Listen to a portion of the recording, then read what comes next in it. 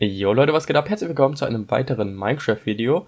Heute zeige ich euch mal wieder ein paar Designs, und zwar heute 17 Laternen-Designs. Und ich hoffe, ich kann euch ein bisschen inspirieren und ich würde sagen, wir fangen direkt an mit dem allerersten Design. Und zwar ist das dieses ganz einfache Zaun plus Fackel-Design. Ich persönlich baue das relativ oft tatsächlich, weil es halt so super einfach ist. Einfach zwei Zäune übereinander und eine Fackel oben drauf. Und das soll so eine große Fackel quasi sein, so eine verlängerte Fackel quasi. Ähm, ja, nichts so Besonderes, aber wie gesagt, ist halt ein relativ einfaches Design, falls ihr gerade eine neue Welt anfangt oder sowas, kann man das natürlich mal schnell bauen. Danach haben wir ein Design, was ich schon ziemlich gut finde. Und zwar haben wir eine kleine Laterne, die auch so, ja, so hängt, quasi wie eine Laterne hängen würde, von oben nach unten. Ähm, das Ganze könnte man allerdings noch ein bisschen anders bauen. Und zwar könnte man einfach, also jeweils drei Zäune natürlich nehmen. Und dann, ich habe in diesem Fall jetzt gemacht, dass da quasi eine Trapdoor ist und dann dahinter ein Halbstein. Man könnte natürlich auch zwei Halbsteine nehmen. So, oder natürlich auch zwei Trapdoors. Und dann da unter die Laterne hängen. Das finde ich sieht auch ziemlich cool aus, aber ich finde so insgesamt dieses, diese Mischung daraus ist noch ein bisschen besser. Aber wie gesagt, so könntet ihr es halt aufbauen, falls ihr das besser findet. Und natürlich könntet ihr auch den Cobblestone, äh, die Cobblestone-Mauer darunter quasi auch ändern durch einen ähm, Zaun, wenn ihr möchtet. Und danach haben wir ein Design, das auch relativ cool ist, weil die Laterne sich nämlich tatsächlich perfekt mit dem äh, unteren Ende vom Zaun quasi verbindet. Sieht auch ziemlich cool aus, das sieht richtig so aus, als würde es darunter hängen. Auch eigentlich relativ einfach, wie gesagt, einfach mit Zaun und einer Laterne. Danach haben wir so eine kleine Mischung, auch wieder viel Zaun und dann oben haben wir eine Treppe diesmal statt einer Trapdoor und auch ein Halbstein wieder und da hängt dann die Laterne dran. Auch ein relativ einfaches Design. Insgesamt sind so die Designs hier vorne eher so für kleine Dörfer vielleicht, die ihr gebaut habt oder irgendwas, was noch nicht so weit fortgeschritten ist, sage ich mal. Und wie gesagt, in so Dörfern oder auf irgendwelchen Feldwegen oder so würde sich, denke ich, sowas ganz gut machen. Und hier haben wir dann noch so ein etwas anderes Design. Das sieht wieder ein bisschen ja, anders aus eben. Und zwar haben wir hier zwei Laternen. Dann oben wieder so eine Mischung aus ähm, Halbstein und Falltür. Und unten so einen etwas massiveren Stand quasi. Und sowas könnte ich mir ganz gut vorstellen, wenn es zum Beispiel zwei Wege gibt, so einen nach links und einen nach rechts. Dann kann man sowas hier quasi an die Gabelung stellen und dann hier noch ein Schild hin, irgendwie, da geht's nach links, da geht's nach rechts. Und dann, ja, hat man da auch noch so eine kleine Laterne eben mit einem Wegweiser vielleicht. Oder ansonsten könnte ich mir das vielleicht auch in einer kleinen Siedlung vorstellen oder in so einem Villagerdorf. Würde das, glaube ich, auch ganz gut passen. Ähm, hier hinter haben wir jetzt ein paar Designs, die vielleicht schon für etwas fortgeschrittenere Sachen sind, vielleicht für eine Burg oder auch irgendwas Industrielles oder insgesamt halt eine etwas massivere Siedlung quasi, weil hier ist nämlich alles aus Stein und Eisen quasi. Das erste Design erinnert so ein bisschen an das letzte, was wir hier vorne hatten. Wir haben hier wieder zwei Laternen links und rechts. Diesmal allerdings mit einem Amboss und mit Trichtern. Und oben drauf sind dann nochmal Eisenfalltüren. Und bei den Trichtern ist es so, dass ihr darauf aufpassen müsst, wie ihr sie platziert. Ich kann euch das mal zeigen, denn wenn ihr sie nämlich quasi gegen einen anderen Block platziert, links oder rechts, dann geht ja das Rohr quasi auch nach links oder rechts, seht ihr hier, und nicht so nach unten. Und jetzt könnte ich nämlich von unten keine Laternen dagegen setzen. Und das, äh, deswegen müsst ihr quasi den Block da über zur Hilfe nehmen und da dann den Trichter ransetzen. Und dann könnt ihr auch eine Laterne da untersetzen. Und das Coole ist halt auch bei den Trichtern, dass halt die Laterne auch wirklich wieder perfekt da sich verbindet mit, also dass die Kette quasi genau in den Trichter geht. Und ich finde insgesamt sieht das mit den Trichtern auch noch ein bisschen besser aus als hier mit dem Zaun, weil der Trichter noch so ein ähnliches, also eine ähnliche Farbe hat, mehr oder weniger, halt auch aus Eisen ist. Dementsprechend sieht das ziemlich nice aus. Und der Anvil dazwischen natürlich auch nochmal so ein bisschen Abwechslung. Sieht eigentlich ziemlich cool aus und massiv. Und daneben haben wir dann eine kleine Mischung aus den Designs, die wir schon kennen und halt dem neuen Farbschema quasi.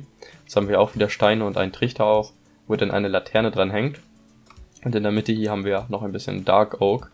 Das finde ich sieht auch ziemlich cool aus. Wie gesagt, ich finde das total cool, dass halt der Trichter sich so perfekt ergänzt mit der Laterne. Und dann daneben haben wir auch noch ein Design, das ist wieder ein bisschen sehr stark angelehnt an diese Designs. Nur eben aus Stein. Und was man hier auch machen könnte, sind zwei Laternen nebeneinander. Das finde ich hat auch was. Aber wie gesagt, ansonsten mit einer sieht das auch ziemlich cool aus, wenn die so ein bisschen weiter weg ist tatsächlich von dem, von dem Stand quasi, die Laterne. Hat auf jeden Fall auch was. Und die sind alle relativ einfach nachzubauen. Da müsst ihr einfach nur das Video vielleicht mal pausieren und dann könnt ihr euch die ganz in Ruhe quasi abbauen. Und hier haben wir dann ein Design, was ein bisschen sehr massiv ist und auch sehr viel größer und auch insgesamt ziemlich funktionell tatsächlich. Das könnte ich mir vielleicht vorstellen, wenn man links und rechts zum Beispiel eine Straße hat oder einen Weg oder sowas und dann macht man sowas eben in die Mitte und hat dann hier zwei Laternen jeweils. Man könnte es theoretisch auch mit einer machen, aber das sieht dann, finde ich, nicht mehr so cool aus. Und dementsprechend habe ich es halt mit beiden gemacht. Und hier ist es dann auch so, dass der Trichter halt wirklich nach links in die Laterne oder beziehungsweise in, den, in die Redstone-Lampe reingeht. Und das Coole an diesem Design ist, dass sie halt tatsächlich funktioniert. Und so tagsüber sind das quasi Energiesparlampen, die halt aus sind. Und würde es jetzt Nacht werden, dann würde sie halt anfangen zu leuchten durch den Tageslichtsensor, der hier oben drauf ist. Oder beziehungsweise ich kann auch mal so machen, dann ist es jetzt tagsüber hell. Das ist halt ziemlich cool, wenn man so eine Laterne hat, die halt von sich aus nachts angeht. Das hat immer was, das ist ein kleines Extra-Feature für jede Welt quasi. Und das Ganze halt ohne viel Redstone, einfach nur mit dem ähm, Tageslichtsensor quasi direkt oben auf der Redstone-Fackel, äh, auf der Redstone-Laterne quasi. Sieht auch ziemlich cool aus und das Design insgesamt finde ich sehr cool. Wie gesagt, könnte ich mir so richtig gut zwischen zwei Straßen vorstellen. Und ich würde sagen, wir machen direkt weiter mit wieder ein paar, ähm, ja, ich sag mal, fortgeschrittenen Holzdesigns. Hier haben wir jetzt vor allem Glowstone dabei. Und das erste, was wir hier haben, ist direkt eine Laterne, die ich glaube ich mit am besten finde. Jetzt haben wir hier auch wieder ähm, ein Glowstone, der quasi umrandet ist von diesen ähm, Falltüren. Und das Ganze auf einem relativ massiven Stand. Hier auch noch nochmal Falltüren um einen ähm, Holzblock rum quasi. Dann haben wir da drauf Zäune und da oben drauf dann nochmal ein Trichter. Und das finde ich ist halt eine relativ coole Idee, dass man quasi von Zaun nicht direkt auf Glowstone umsteigt. Ich kann euch das mal zeigen, wie das aussehen würde. Es würde nämlich so aussehen, als würde es halt die ganze Zeit so relativ dünn sein vom Zaun und dann auf einmal wird es so breit und dick vom Glowstone eben. Und das ist eben der Trichter eine perfekte Ergänzung, weil der halt so, so eine Mischung quasi ist, so eine umgedrehte Pyramide quasi. Die halt so perfekt so dieses ähm, relativ dünne von den Zäunen halt eben übernimmt und dann aber auch breiter wird und das hat insgesamt einen relativ coolen Effekt auf jeden Fall. Und dementsprechend finde ich die ziemlich cool. Und statt hier oben drauf einen Halbstein zu machen, könnt ihr natürlich auch eine Trapdoor drauf machen. Sieht dann allerdings, finde ich, nicht mehr so cool aus und dementsprechend lasse ich da mal den Halbstein. Was wir daneben haben, ist so die gute alte Laterne, die ich irgendwie schon in der Beta gebaut habe von Minecraft. Und zwar haben wir hier einen Redstone-Block quasi, der umrandet ist von Zäunen und das Ganze dann nochmal auf so einem Zaun quasi aufgebaut. Obendrauf habe ich jetzt hier in der Mitte eine, äh, einen Halbstein und drumherum sind dann noch Falltüren. Finde ich auch eigentlich ganz cool, ist auch ein relativ simples Design, kann man ganz einfach mit wenigen Ressourcen quasi nachbauen. Das Problem bei den Trichtern ist natürlich immer, dass sie relativ eisenintensiv sind und auch an den ganzen Anvils und so weiter, aber hier haben wir eigentlich quasi nur Holz und einen Glowstone daneben. Und das finde ich auch ein ganz nettes Design, ist nicht mehr mein Lieblingsdesign, aber halt auch, wie gesagt, schon ziemlich alt. Und was wir hier dann haben, ist so eine kleine Mischung aus den Laternen und den Glowstone-Blöcken quasi. Jetzt haben wir hier wieder eine große Laterne und da dran hängt dann quasi ein Glowstone, der umrandet ist wieder von den Falltüren. Und darunter haben wir dann einen Trichter, wo nochmal eine Laterne dran hängt. Ist so ein bisschen doppelt gemoppelt, Finde ich, hat aber trotzdem was. Ziemlich cool. Und was hier auch wichtig ist, ist, dass man halt eben tatsächlich die Eichen ähm, Falltüren benutzt, beziehungsweise einfach Falltüren, die halt ein bisschen offen sind. Dann würde ich jetzt hier zum Beispiel diese Falltüren hier benutzen, die zu sind. Dann, weiß ich nicht, sieht das nicht mehr so nach Laterne aus irgendwie. Und da finde ich es cooler, wenn man dann tatsächlich den Glowstone-Block noch ein bisschen da durchsieht. Dann weiß man auch, okay, alles klar, ist eine Laterne auf jeden Fall. Und das nächste Design haben wir wieder ähm, relativ massiv oben quasi mit dem Glowstone-Block da drin und dann hier den Treppen drumherum und den Halbstein und dem Zaun und dementsprechend wieder umso cooler, dass wir hier wieder einen Trichter haben, der quasi die Verbindung darstellt zwischen diesen dünnen ähm, Zaunblöcken quasi und den massiven großen Blöcken dann über. Hier auch wieder ein massiver Stand. Das finde ich ist bei solchen Designs gerade sehr wichtig, weil würde man das jetzt alles auf so einem Zaun quasi aufbauen, dann würde das irgendwie so ein bisschen so unrealistisch aussehen, weil es halt einfach na, so wackelig ist theoretisch, wenn es halt einfach nur ein Holzzaun ist und da oben drauf ist dann so ein riesiges Laternen-Dingsbums. Das würde einfach nicht so cool aussehen. Dementsprechend ja wieder auch einen relativ massiven Standfuß quasi. Ziemlich cool. Und dann haben wir hier noch ein paar Designs, die vielleicht für eine moderne Stadt ein bisschen besser sind oder vielleicht auch für eine Unterwasserstadt.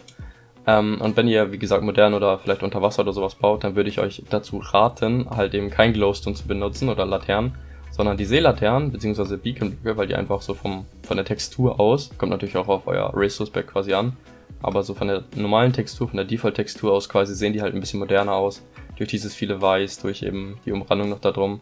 Finde ich auch ziemlich cool.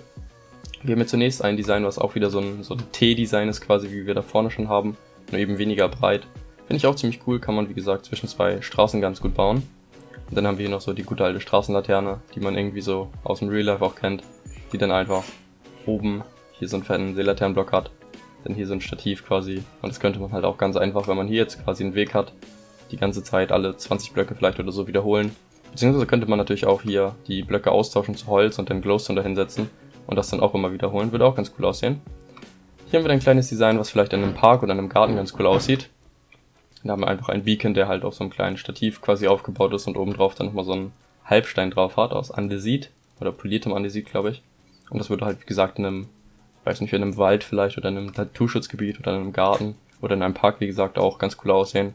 Oder halt irgendwie draußen im Garten, wenn man so einen kleinen Weg hat, vielleicht der zum Haus führt, dass man sowas dann nochmal daneben hat quasi. Einfach so als kleine Leuchte nochmal. Beziehungsweise eigentlich ist sie gar nicht so klein, doppelt so groß wie der Spieler, aber na, ihr wisst, was ich meine.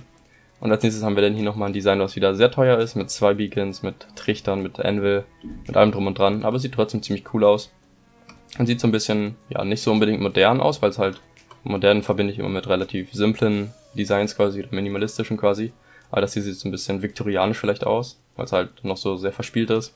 Und hier haben wir auch, wie, äh, wie gesagt, dieses Trichter-Anvil-Prinzip, dass die nebeneinander sind. Obendrauf diesmal haben wir Beacon-Blöcke. Normalerweise würde das ja un äh, darunter quasi sein. Hier da drüber sieht auch eigentlich ziemlich cool aus.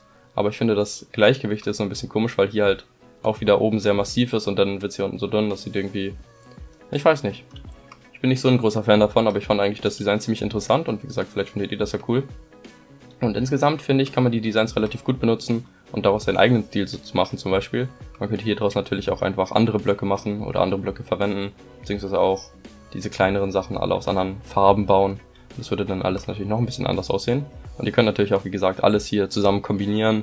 Vielleicht möchtet ihr Glowstone haben, aber mit viel Zaun und, weiß nicht, noch Eisen obendrauf oder sowas.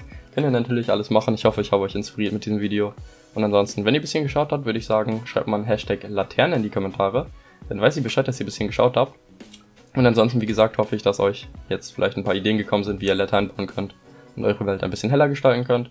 Und ich würde sagen, wir sehen uns beim nächsten Video. Haut rein und ciao.